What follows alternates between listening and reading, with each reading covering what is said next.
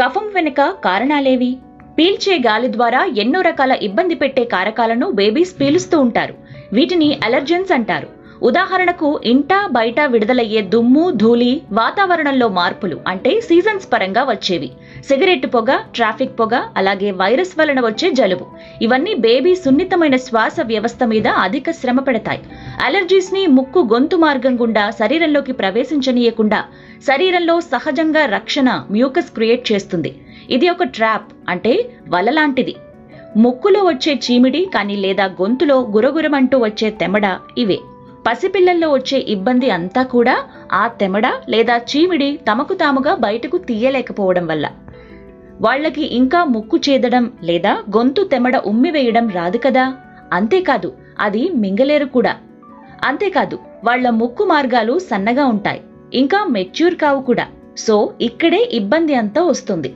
మరికొన్ని సీరియస్ కారణాలు ముక్కు గొంతులో మ్యూకస్ వెనుక ఉంటాయి. అవి asthma flu pneumonia cystic fibrosis bronchitis.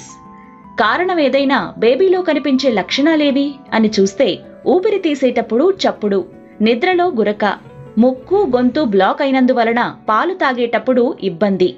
ముక్కు బ్లాక్ దగ్గు కారే ముక్కు. ఇలాంటప్పుడు ముక్కు మూసుకుని పోవడం పాలు తాగలేకపోవడం లేదా ఫుడ్ తినలేకపోవడం ఫలితంగా ఏడుపు చికాకు అవన్నీ ఉంటాయి. ఇలాంటప్పుడు ఒక్కోసారి కక్కేస్తూ ఉంటారు కూడా. మరి ఏం చేయాలి? అదే పెద్ద చిక్కు ప్రశ్న కదా. సింపుల్గా కొన్ని గృహ చిట్కాలు పాటించాలి. అవేంటో చూద్దాం. గోరువెచ్చని నీటితో నెమ్మదిగా ఛాతీ వీపు మీద పోస్తూ రోజుకు రెండుసార్లు స్నానం. దీని వలన కఫం పేరుకున్నది కరిగి బయటకొస్తుంది. జలుబు ఉందని స్నానం చేయించకూడదు అనుకోవడం పొరపాటు. కేవలం హై ఫీవర్ ఉంటే తప్ప. ఫీడింగ్ తప్పనిసరి. చిన్న మోతాదులో ఎక్కువసార్లు చేయటం మంచిది. ఎన్నిసార్లు యూరిన్ పాస్ చేస్తున్నారో చెక్ చేయాలి.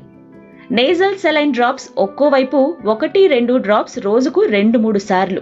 రోజుకు రెండు మూడు సార్లు స్టీమ్ బేబీకి దూరంగా పెట్టి ఇవ్వాలి. ముక్కు కణతలు నుదురు చంపలు. వీటి మీద చాలా అంటే చాలా సున్నితంగా గోరువెచ్చటి నూనెతో మసాజ్ చేయాలి. ఇంట్లో అలర్జీ కారకమైన వాటిని తొలగించాలి. పౌడర్ దోమల స్ప్రే పర్ఫ్యూమ్స్ దుమ్ము ధూళి సిగరెట్ పొగ. ముక్కును రోజుకు రెండు నుంచి మూడు సార్లు నోస్ బల్బ్తో శుభ్రం చేయటం. మెత్తటి వెట్ పైప్స్ పెట్టుకుని ఎప్పటికప్పుడు ముక్కు నోరు తెమడ శుభ్రం చేయటం. గొంతులో తెమడని స్నానం చేయించేటప్పుడు మెత్తటి కాటన్ చూపుడు వేలుకు చుట్టుకుని నాలుక చిగుళ్ళు శుభ్రం చేయాలి. అన్నింటికంటే మించి బేబీని బయట వాతావరణం వెచ్చటి గాలికి ఎక్కువ ఎక్స్పోజ్ చేయొద్దు. పది మంది చేతుల్లో బేబీని ఇస్తే వైరల్ ఇన్ఫెక్షన్స్ ఫ్లూ వచ్చేస్తాయి. ఫ్యాన్ బాగా స్పీడ్గా వద్దు. నేరుగా ఫ్యాన్ గాలి తగిలేలా ఏసీ తగిలేలా ఉంచొద్దు.